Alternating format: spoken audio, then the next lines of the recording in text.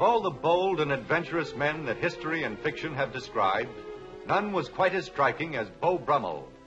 His is the fascinating story of a daring and elegant scoundrel who might have been the greatest man of his day.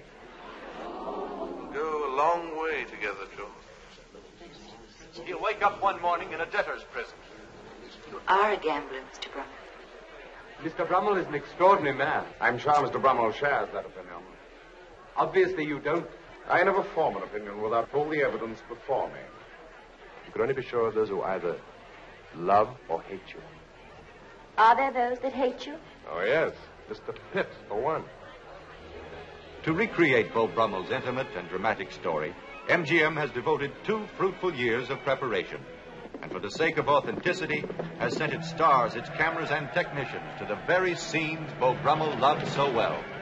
To historic London, to the incomparable beauty of England's countryside, recapturing the spectacular magnificence of a golden era, tracing with bold strokes the almost unbelievable story of this obscure captain of the Royal Guard, whose captivating ways swayed a nation and made of him the most controversial man of his day. Please. I must go. Please stay. We want each other.